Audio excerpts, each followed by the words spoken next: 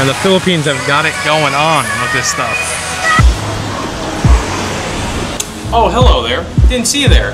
Welcome to the Pink Hostel in Manila.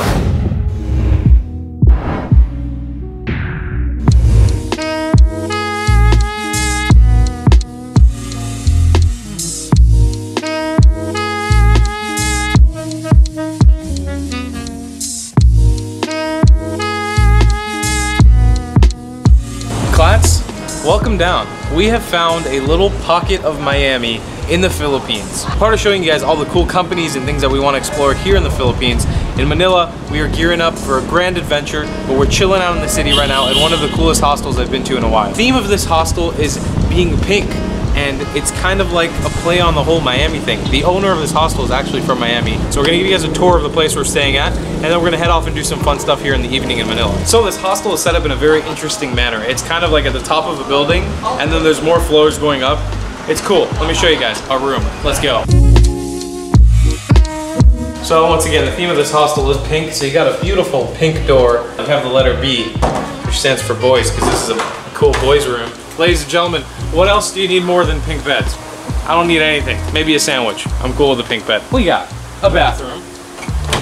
Uh, we'll come down to the toilet. How you say? We have a shower, a toilet. Two things to mention. If you come here, read all of the signs in the bathroom because they're super entertaining, especially when you're doing a number two. And ask them for the Wi-Fi password. It's one of the best things I've heard in a while. So up on this top terrace, we have kind of access to a bunch of rooms with little balconies as well. Um, we're gonna take the stairs down to the main area of the hostel, the entrance, which is the coolest part of it. So let's go there.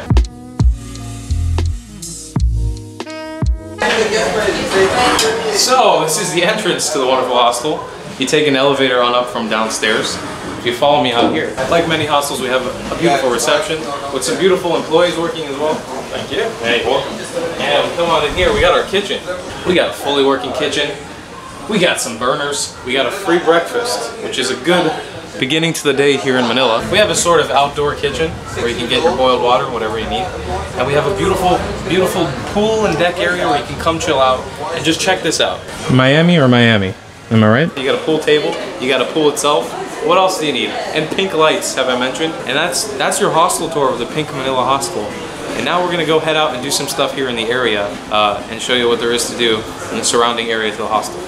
So let's let's get it move on, uh, boy. You can keep playing it. See you later. Oh yeah. Enjoy. Thanks. So a bunch of us from the hostel are getting together right now, and we are about to go hang out in Rizal Park. Rizal Park is a huge park here in the middle of Manila. Uh, apparently there's a waterworks show that goes on there during the day, so about to go meet up everybody that's coming out with us, and we're gonna go have a hangout session.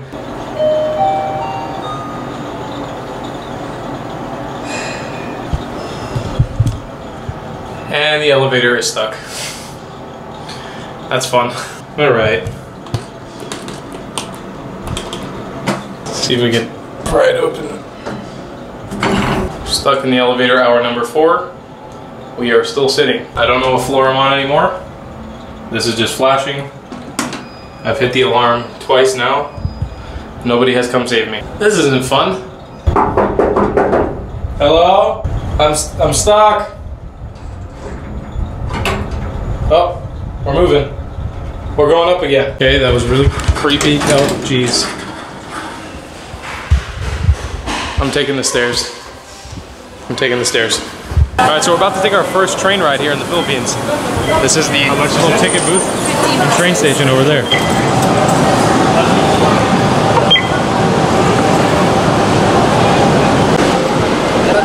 Wow. Oh, jeez. Holy crap, that was insane. Look how many people are packed in there. That's insanity.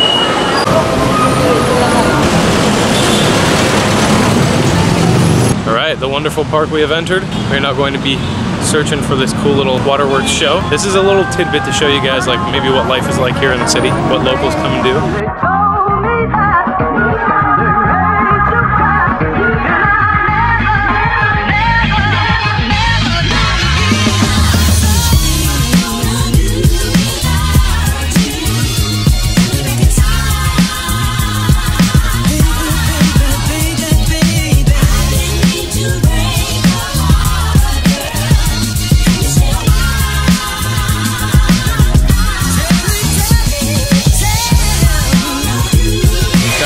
Out this crazy show.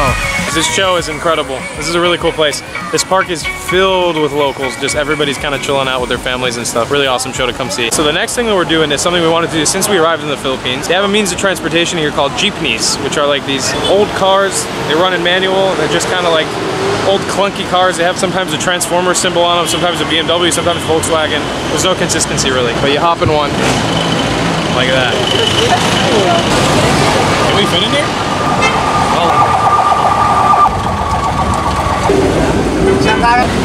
Gosh darn, last night ended with a bang. Did you see those freaking fountains? They were sick. We are now going to head off to a place called Intramuros. We're in the hostel right now. We're gonna catch a jeepney. We're gonna go there and tell you guys all about the history of the Philippines and the Filipino people. Ah, what a view to wake up to. All right, we're hopping in a jeepney. Wow, we got this one to ourselves. This is the way to do it in Manila. It's the cheapest way. It's just, she kicks me out of the Yeah, that's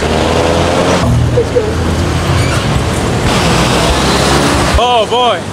It's a hot one in Manila today. All right, those those things are freaking awesome. They're they're the best.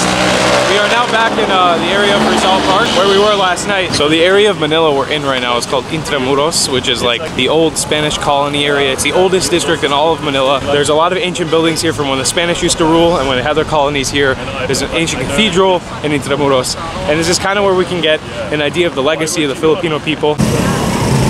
The actual meaning of the word Intramuros is like walled city in Spanish. Kind of what we're walking on right now, we're kind of walking on this little fort wall right now that's going all the way down, cutting through the city. We have a cool cathedral to visit as well. Ancient cannon set up here. Very Spanish in design. Very similar, a lot of places have been around the world that have had Spanish colonies before, like Puerto Rico or different island nations like that that have been either invaded or run by the Spanish. You see a very classic design like this. Most forts look very similar.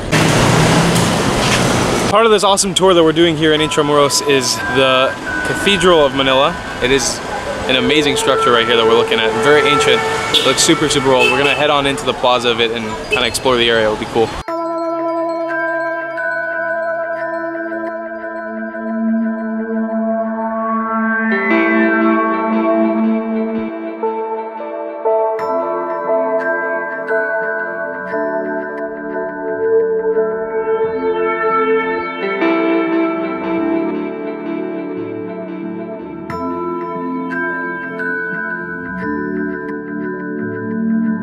So this cathedral is called the Manila Cathedral or the Cathedral Basilica of the Immaculate Conception. It was made to honor the Mother Mary or the Virgin Mary. It is the mother of all churches in this country.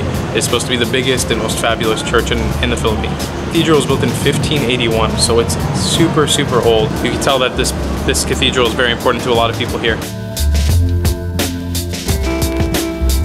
We've definitely built up a little bit of a hunger. Come down back into this main street that had a bunch of food on the side.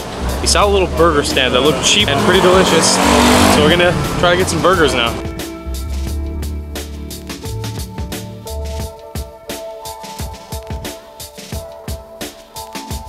We were sitting down to eat and there was two uh, people there in the restaurant and they essentially paid for our meal and then brought us here to the fort for free like give us a ride here. strangers sat down had a conversation with us decided to pay for our entire meal and then drop us off here. So it was amazing. In Intramuros we've come to a place called Fort Santiago.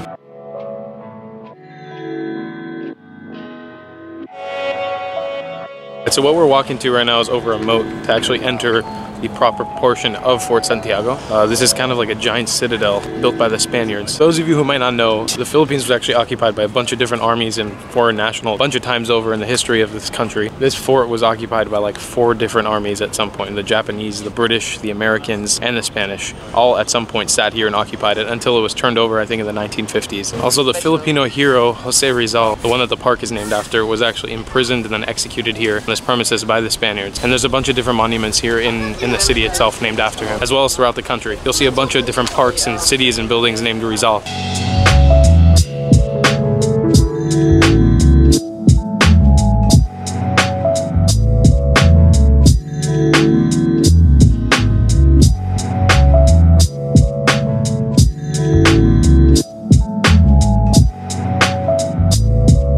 We have just been served a delicious dish made here in the hostel. Oh boy, we got chicken adobo and chop suey. What another fantastic day exploring Manila. We are back in the Pink Manila Hostel. Make sure that you check them down in the description below.